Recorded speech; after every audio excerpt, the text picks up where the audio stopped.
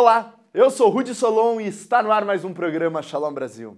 Neste ano, a celebração de Hanukkah em Israel assume um significado ainda mais profundo.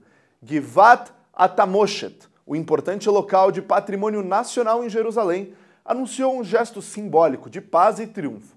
O azeite de suas oliveiras será utilizado para a iluminação de 90 Hanukkiot espalhadas por diversos campos de batalha, incluindo áreas dentro de Gaza. O azeite utilizado destas oliveiras, que foram plantadas na região após a Guerra dos Seis Dias, é muito especial e simbólico.